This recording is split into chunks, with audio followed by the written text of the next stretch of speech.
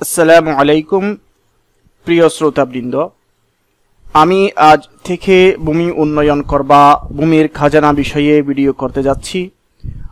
ভিডিওগুলোতে থাকবে বাংলাদেশের বিভিন্ন বিভাগ, জেলা, উপজেলা ও মৌজার বিভিন্ন রকম জমির খাজানা বা ভূমি উন্নয়ন করের হিসাব নিকাশ এবং বকেয়া খাজানা বা বকেয়া ভূমি উন্নয়ন করের সুদের হিসাব নিকাশ।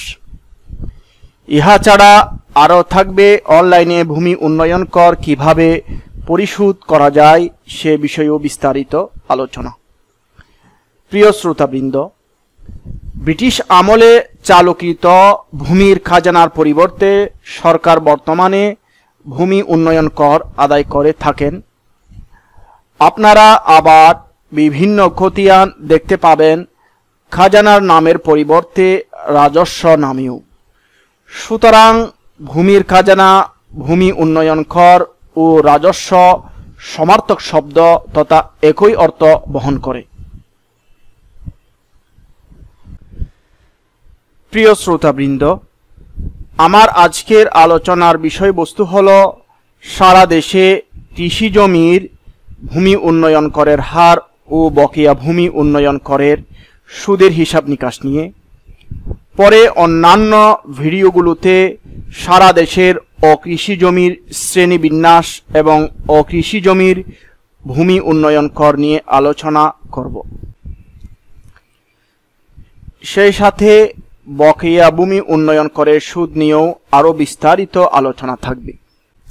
প্রিয় শ্রোতাবৃন্দ, আমি আজকে ভূমি মন্ত্রণালয়ের আইন অধিশাখা তিনের গত ত্রিশে জুন দুই হাজার পনেরো ইংরেজি তারিখের প্রজ্ঞাপনের আলোকে কৃষি জমির ভূমি উন্নয়ন করের হার নির্ধারণ নিয়ে কথা বলছি।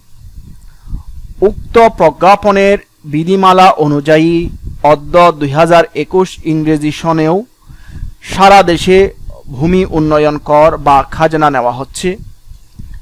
নতুন করে আর প্রজ্ঞাপন জারি না হওয়া পর্যন্ত উক্ত প্রজ্ঞাপনের নিমিত্তে ভূমি উন্নয়ন কর নেওয়া হবে।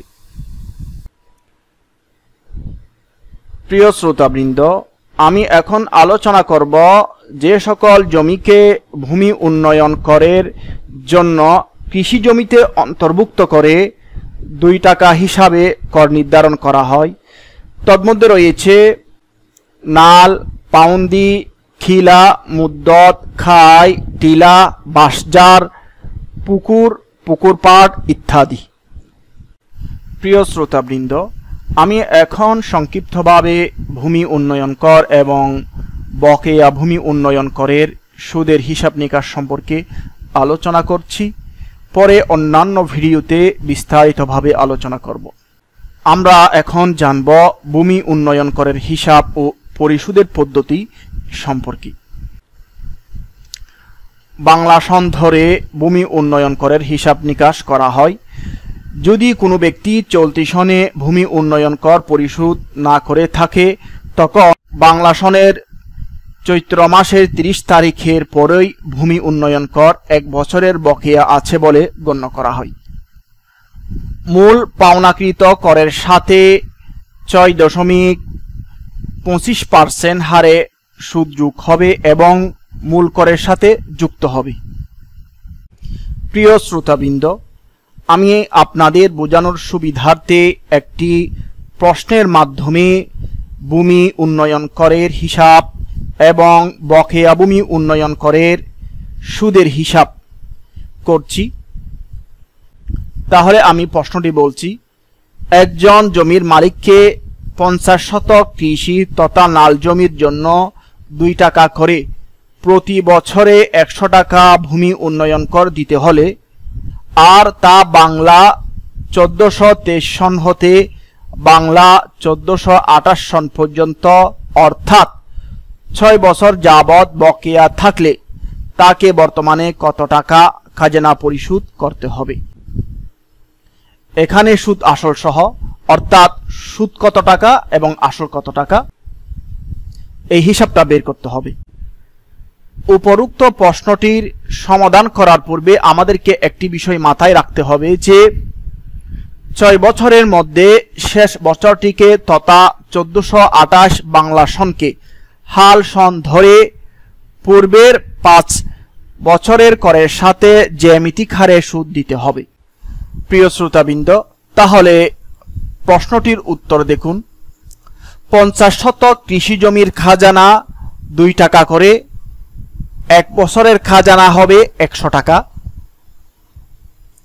এবং ছয় বছরের খাজানা মোট একশো গুণ ছয়, অর্থাৎ ছয়শো টাকা। এখন ছয় বছরের মধ্যে আমাদেরকে সুদ দিতে হবে পাঁচ বছরের।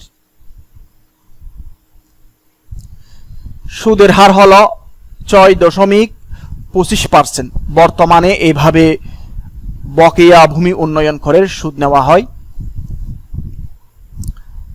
তাহলে প্রথম বছরের সুদ ছয় দশমিক পঁচিশ গুণ এক, তাহলে ছয় দশমিক পঁচিশ টাকা। এভাবে দ্বিতীয় বছরের সুদ ছয় দশমিক পঁচিশের সাথে দুই গুণ দিতে হবে, তাহলে বারো টাকা পঞ্চাশ পয়সা। এভাবে তৃতীয় বছরের সুদের সাথে, ওই উক্ত সুদের সাথে তিন গুণ হবে। এভাবে চতুর্থ বছরের সুদের সাথে চার গুণ হবে। এভাবে পঞ্চম বছরের সুদের সাথে পাঁচ গুণ হবে। তাহলে এখানে মোট সুদ হয় তিরানব্বই দশমিক পঁচাত্তর টাকা। প্রিয় শ্রোতাবৃন্দ, আপনারা চাইলে এই সূত্র প্রয়োগ করে জ্যামিতিক হারে বছর বের করতে পারবেন। তারপর আপনার সুদের হার দিয়ে গুণ দিবেন। যেমন দেখতে পাচ্ছেন, এই এখানে পাঁচটা হলো বছর, তারপরে এখানে মানগুলো বসাইলাম, তারপরে এই। এরপর বাকি যা আছে তা করে নেবেন, নেওয়ার পর এখানে দেখতে পাচ্ছেন যে পনেরো। পনেরোটি হলো ওই যে জ্যামিতিক হারে বছর, তারপর সুদের হার দিয়ে গুণ, দেখতে পাচ্ছেন, তিরানব্বই দশমিক পঁচাত্তর টাকা। এটা হলো সুদ প্রিয় শ্রোতাবৃন্দ, তাহলে আমরা পাই পঞ্চাশ শতক কৃষি ভূমির খাজানা, ছয় বছরে মোট ছয়শো টাকা এবং সুদ হয় ছয় বছরের তিরানব্বই দশমিক পঁচাত্তর টাকা।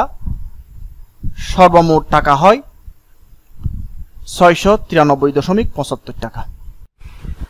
প্রিয় শ্রোতাবৃন্দ, আমি আগামী ভিডিওতে অকৃষি জমি এবং ইহার প্রকারভেদ ও ভূমি উন্নয়ন কর নিয়ে কথা বলব, ইনশাআল্লাহ। সে পর্যন্ত সকলের সুস্থতা কামনা করে বিদায় নিচ্ছি। আল্লাহ হাফেজ। আসসালামু আলাইকুম ওরহমতুল্লাহি ওবরাকাতুহ